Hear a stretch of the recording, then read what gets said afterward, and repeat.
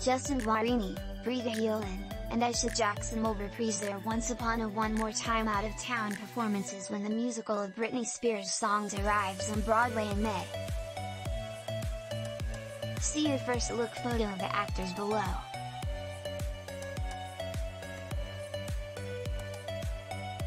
The trio played the roles of Cinderella, Heelan, Prince Charming, Guarini, and Snow White, Jackson, when the revisionist fairy tale musical opened in 2021 at the Shakespeare Theatre Company in Washington, D.C., the Jukebox Musical, which features such Spears hits as Oops I Did It Again, Lucky.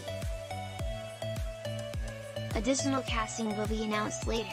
Guarini has appeared on Broadway before in such productions as In Transit, Romeo, and Juliet, American Idiot, and Wicked.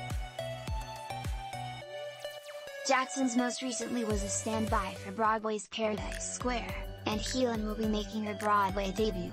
Producers tweeted a first look photo of the just announced cast.